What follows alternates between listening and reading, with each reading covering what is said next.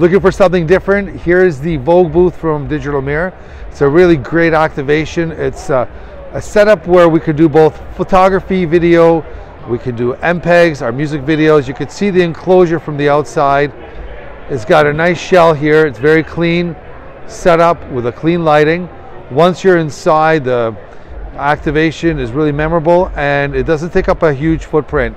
So for more information, contact us here at Digital Mirror for the Vogue booth.